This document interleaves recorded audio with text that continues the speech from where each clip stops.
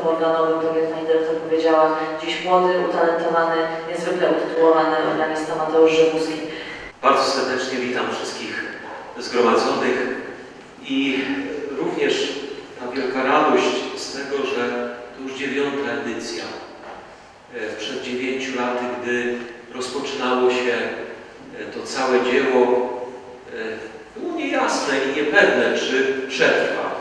Ale myślę, że to jest dobry znak, że już dziewiąty raz, tak jak Pani dyrektor powiedziała, w przyszłym roku jubileusz. To dobrze, że trwamy. Co prawda nie zrobimy konkurencji dla Cannes. No dzisiaj też rozpoczynają, gdzieś tam usłyszałem, ale myślę, że równie ważne dla nas wydarzenie i cieszę się, że możemy rozpocząć ten festiwal. Przekazuję głos dla e, Pana Burmistrza. Niech On wypowie te słowa które nam rozpoczną tą dziewiątą edycję. Dziękuję bardzo. Proszę Państwa, pozwólcie, że najpierw wspomogę się słowem pisanym, które przygotowałem autorsko.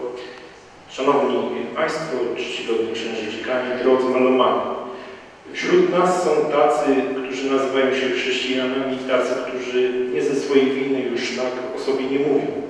Przechodząc ulicami europejskich miast, odwiedzając zabytki, muzea i kościoły, staje się oczywiste, że bez chrześcijańskiego fundamentu żadna, ale to żadna z uniwersalnych, jakie zwykliśmy nazywać wartości, nie stałaby się trwałym elementem naszej kultury, mentalności oraz nie tworzyłaby naszego codziennego sposobu.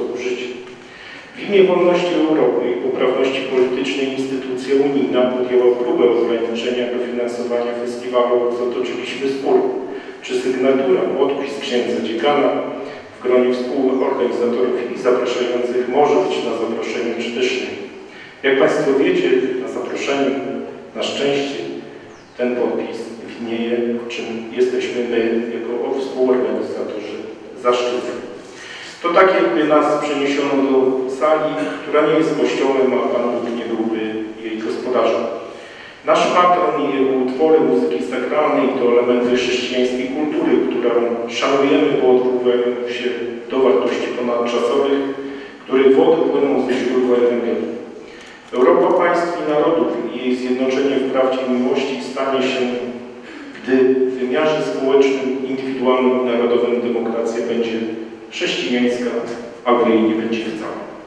Szanowni Państwo, czas na pięć wspólnych dni wspaniałej muzyki dzięki kunsztowi artystów, których gościmy w Nowogrodzie.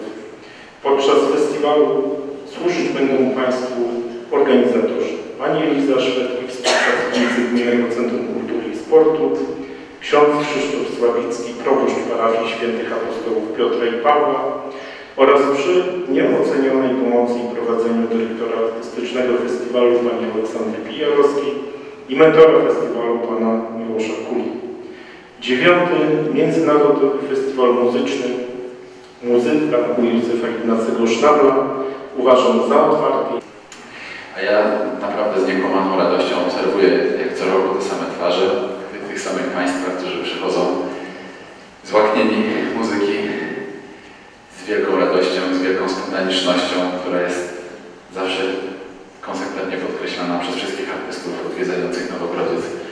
I bardzo się cieszę, że tej publiczności z roku na rok bynajmniej nie ubywa, a raczej jest Państwa coraz więcej. Szanowni Państwo, nasz festiwal rozpoczyna recital, recital organowy.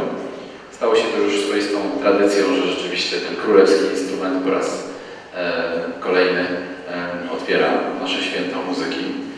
No a tak jak w piosence Zbigniewa Wodeckiego, któremu przy okazji życzymy najszybszego powrotu do zdrowia, zaczynamy od Bacha.